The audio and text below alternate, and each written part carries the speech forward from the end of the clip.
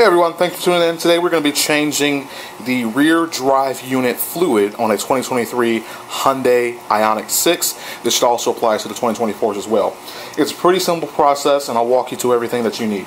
So the first thing you're going to need to do is obviously get the car up on jack stands, which we've already done. And then you're going to want to remove the um, rear diffusers or bottom plates, whatever you want to call it which is relatively pretty easy to remove. So you're going to have basically some clips all in these locations here, here, here, here. And then that's going to be the first piece.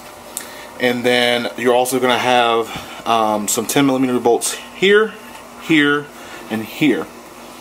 And that's going to be the first piece. The second piece, and I recommend starting from uh, towards the front end of it, which is towards the front of the car. You're going to have three 10 millimeter bolts there, uh, two 10 millimeter bolts there, here and here and then you're gonna have three more in the back. One two three. And the process you're gonna remove it is you're gonna remove those three these two this one this one and remove this one last because this will help you kind of remove it down. There's also kind of a little uh, clip here. You'll turn that um, and it'll pretty much just kind of come down with gravity. So that's going to be step two. I'm going to get you underneath the car for step three.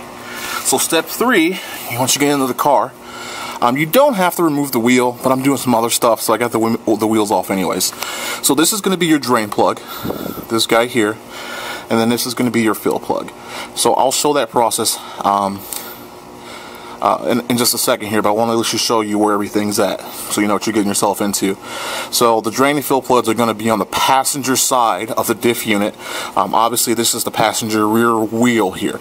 So um, if you've never done this before, you always want to open the fill plug first to make sure you can get in there, and then you uh, uh, open the drain plug. So let me show you some of the things you're going to need to get this job done.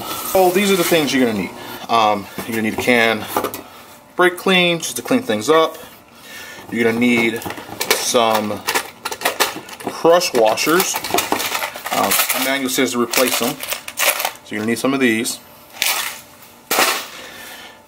fluid transfer pump. Alternatively, if I'm using Amsoil, you can use their squeeze packages, but this is just some stuff I had left over from the previous job. Um, in my particular case, I want to send it the fluid off to get tested, so I want to have this. So if you've ever done this before, this is all done through Blackstone Labs. I'll leave a link in the bio. Essentially, you let probably about a third come out, grab the middle third, and then let, let it finish draining. In terms of fluid, um, this is the fluid that you should use and this will meet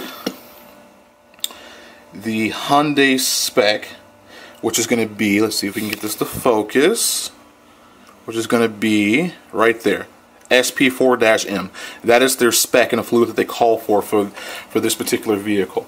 Um, unfortunately, the fluid that they put in the vehicle, from what I can ascertain, is that it's, it's uh, kind of like a synthetic blend, or maybe even a non or more conventional fluid.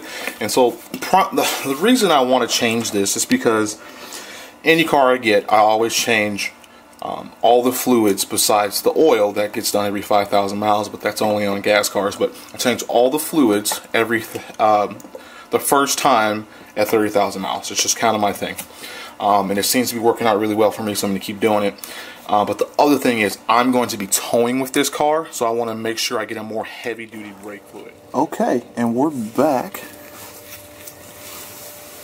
So I've already loosened this guy here. This is, uh, like I said, the uh, fill plug. So we're going to take that off. That's what that looks like. Right, I'm going to scoot you guys back so you can see a little bit more. There you go. So that's that. And uh, just so you know that this is a 24 millimeter bolt. So now we're going to undo the drain plug. I'm Going to get my bottle ready. Ooh. Oh, that is much dirtier than I anticipated. Good God. Get a little of that. And for reference, this fluid has only 24, 25,000 miles on it now. And look at that. We'll see if it'll focus. It should be cherry red, and it is purple, nearly black. Let that drain a little bit. That is just disgusting. I'm shocked, actually.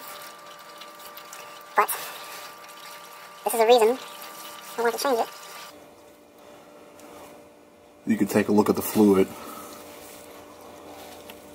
on that, just to give you an idea of how nasty. Yeah, let's start getting this back together. So I got the new Copper Crush washers. This is uh, 11 16ths. Um, also M18, that's the size you need. It's a little bit bigger than normal. Um, I would use either the aluminum style that came with it or the copper.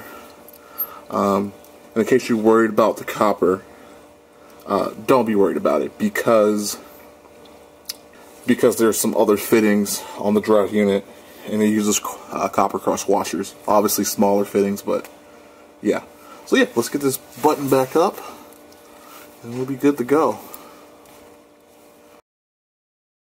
In case you're wondering, um, 49 foot-pounds for both the drain and fill in terms of torque. Um, I'll come back and I'll torque it down. I'm get my torque wrench. Alright, and uh, final step, we're going to get this thing filled back up. Alright, so I got the fill rig filled up, which is essentially just the pump going into the gallon. So, um, this takes just under four quarts. Um, and you want to make sure when you're doing this that the car is level too. So, I'm working a little blind. I got the camera in the way here.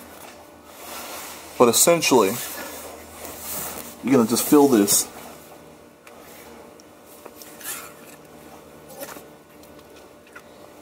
until it drips out. Which is not like that. Okay, so I just wanted to do a little double checking. So the fill capacity is right around three quarts. I think I said four quarts earlier. I just want to correct myself.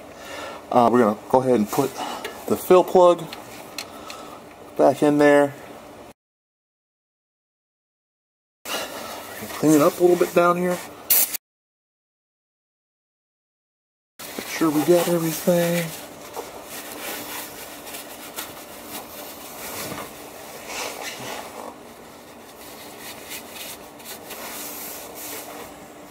And we're all good. So that is how you change the rear drive unit fluid in a 2023 Ioniq 6. Thanks guys. Bye.